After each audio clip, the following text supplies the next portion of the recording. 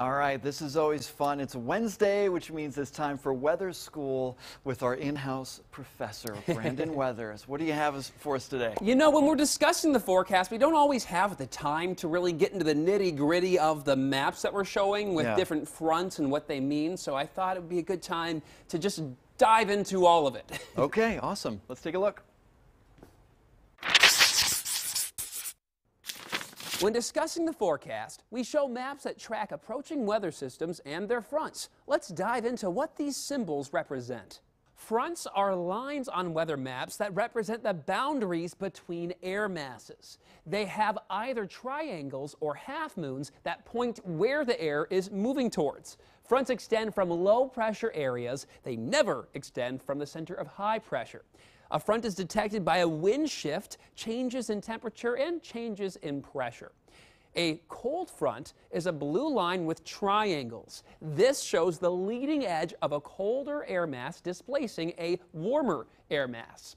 A warm front is a red line with half moons. So this is going to show us the leading edge of a warmer air mass displacing a cooler air mass. Ahead of a warm front is where we often talk about something called overrunning.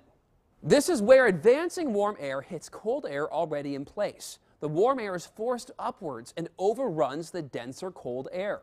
The warm air cools as it rises, causing the moisture in the air to condense into clouds and precipitation. Eventually, the warm air cools down enough to where clouds and precipitation can't form. This weather pattern typically brings steady light rain, thick low clouds, and fog or mist. In the winter, overrunning can cause freezing rain, sleet, and snow. Warm fronts and cold fronts are the two most common fronts, but there are others. A stationary front is an alternating red and blue line. This indicates a front has stopped moving. There is still a boundary between two air masses, but the incoming air mass isn't advancing across the region for the time being. An occluded front is a purple line with alternating triangles and half moons. This means that the cold front has caught up to the warm front and is forcing the warm air mass upwards. Occluded fronts mean the weather system is no longer intensifying. A trough is a dashed line, and this isn't a front because it isn't a boundary between air masses. What it is is an elongated area of low pressure.